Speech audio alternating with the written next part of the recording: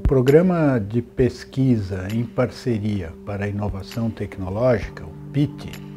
é um programa que a FAPESP oferece para facilitar que conhecimentos e descobertas científicas e a capacidade humana em pesquisa que há em universidades e institutos de pesquisa no estado de São Paulo se conecte com o interesse de empresas no estado de São Paulo, no Brasil ou às vezes empresas no mundo.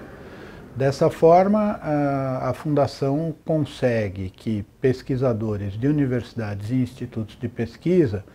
contribuam para o desenvolvimento dessas empresas, para o desenvolvimento da economia e, ao mesmo tempo, cria-se a oportunidade para que essas universidades e institutos de pesquisa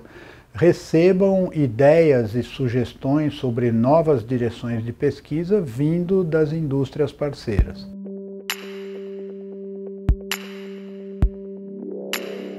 No programa PIT, eh, o pesquisador da universidade ou do instituto de pesquisa prepara um projeto de pesquisa informando que terá um cofinanciamento da empresa e submete esse projeto à FAPESP, que faz então uma análise, como a FAPESP faz em todos os projetos de pesquisa que recebe, que é essa análise usando a revisão por pares, como todas as agências de financiamento à pesquisa no mundo fazem para selecionar bons projetos.